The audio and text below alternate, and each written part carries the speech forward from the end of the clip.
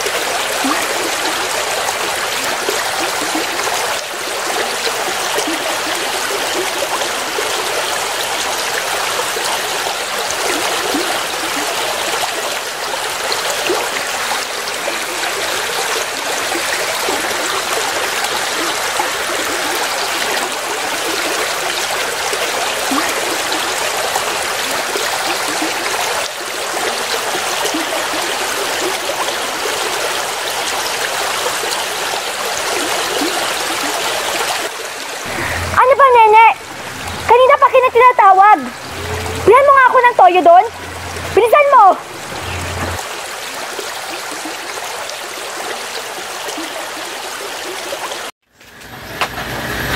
Aling Jopa ay? Ano yon? Nabili po ako ng toyo. Ay, 10 piso. ito po. May utang pa pala yung nanay mo dito na 10 piso. Bayaran mo na rin. Ah, ah, sige, sige po. Salamat, Aling Jopa. Sige. Pasensya na.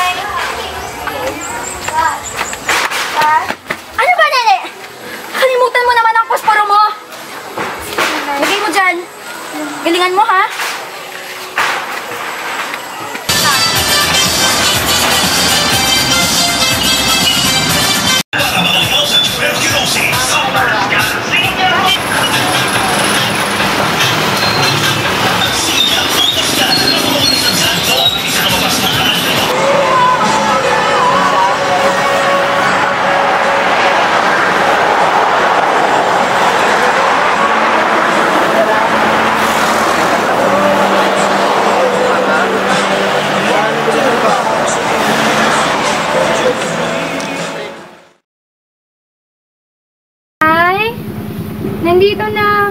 Oh! Anong oras na? Kahit ngayon ka lang dumating. Nakakairita ka? Huwag mong pagalitan ng aking apo! Sige, kampihan mo pa yung apo mo. Halika nga rito, apo. Umupo ka. Hayaan mo ng iyong ina. Ganyan talaga siya. Mainitin ang ulo. O ito. Isang daan. Salamat po. Bawon mo bukas. Galingan mo sa pag-aaral, ha?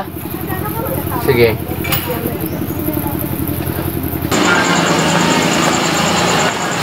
Pare. Pagod na pagod na ako, pare. Ano pare?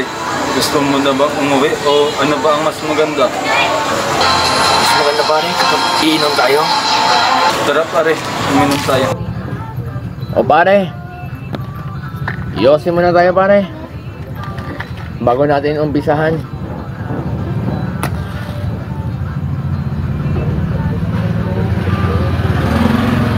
Ayan pare. Halika pare. Umpisa na natin to. Ayan pare. Balot. O pare, kamusta naman ang araw mo? Masayang masayang pare. Alam mo ba, may nakita akong magandang babae. Sobrang sexy pare. Alam mo ba, gusto ko ngang pumunta sa CR. Para, Para ano pare? Para ano? alam mo na yun pare. Kung ako sa'yo pare, alam mo na ang kalalagyan ng babae. Pero pare, may gusto akong ipaalam sa'yo pare. Ano yun pare? Ito pare, ang ganda ng apo ko pare. Ang ganda pare. Ang kanyang mga mata, ang kanyang mga ngiti. Ang ganda pare. Sobrang ganda pare.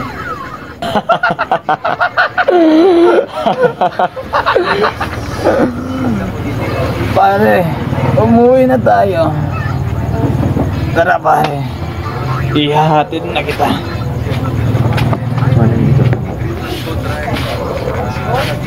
Tara. Hoy,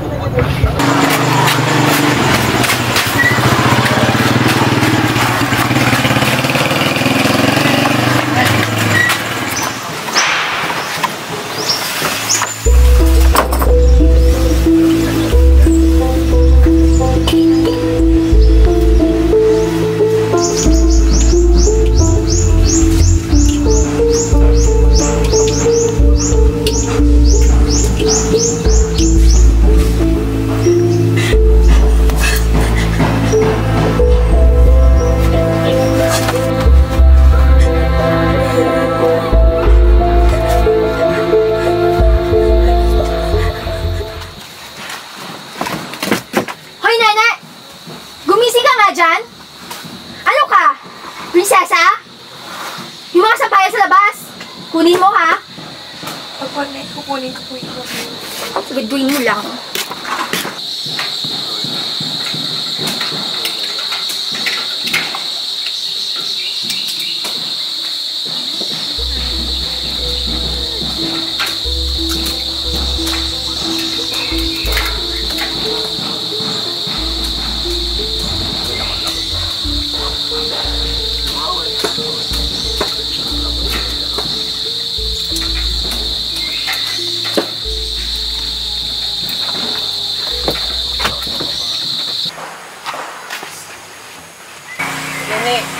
Pasal tayo. Yan. Ano to? Umalis ka na dyan. Umalis ka na dyan. Tara na. Please na, alis tayo.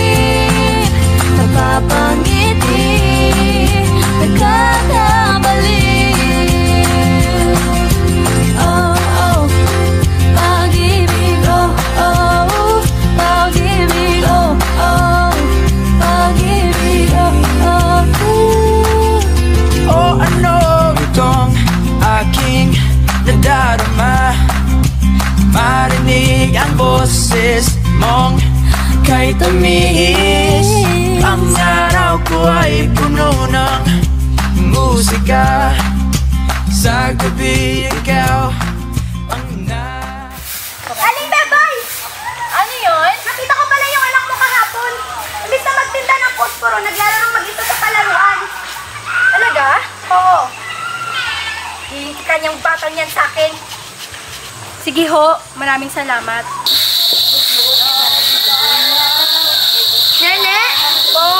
Halika nga dito, may sasabihin ako. Teka lang.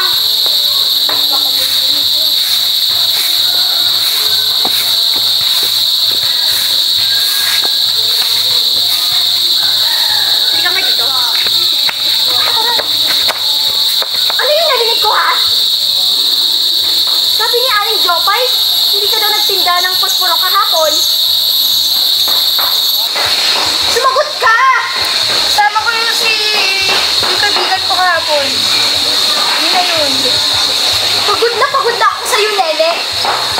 Umayos ka naman. Simula ngayon, bawal ka lang lumabas ng bahay. Kung ayaw mo, edi lumayas ka. Ano? Pupuntahan yung tatay ko. Hindi na siya magpapakita sa'yo. Hahanapin ko. Saan? Tutulungan ako ng kaibigan ko. Sabi niya na may kakilala daw siya. Natutulong sa akin. Hindi mo na makikita ang tatay mo. Sinasabi ko na yan sa'yo. Bakit? Bigyan mo ako ng dahilan! Wala na nga siya. Patay na siya, di ba? Nasaan yung pruweba? Nasaan yung death certificate niya nung, nung hinahanap ko yun sa kwarto? Wala! Hindi ko yun makita! Basta hindi mo na siya makahanap.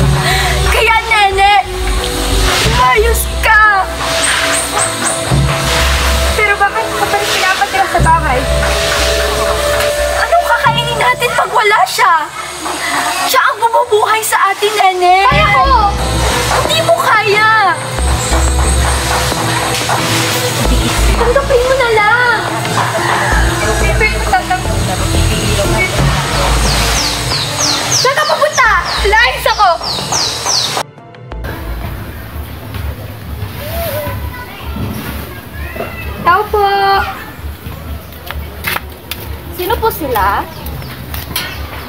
Kaibigan ako na nakatira dito. Yung lalaki na. Yung... Ay, ako lang po yung mag-isang nakatira dito. Hindi ko po kilala yung sinasabi niyo. Eh, hindi sabi niya kasi dito siya nakatira eh. Hindi, hindi po siya dito nakatira. Ako lang po mag-isa dito. Hindi, sinabi niya eh. Ako lang po talaga mag-isa nakatira dito. Wala po nakatira dito. Ako lang po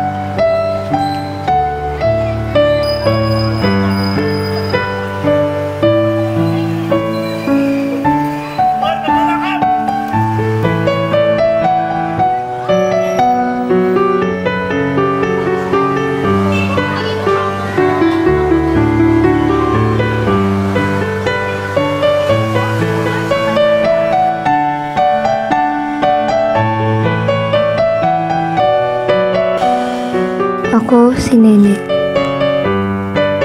Nagkasakit.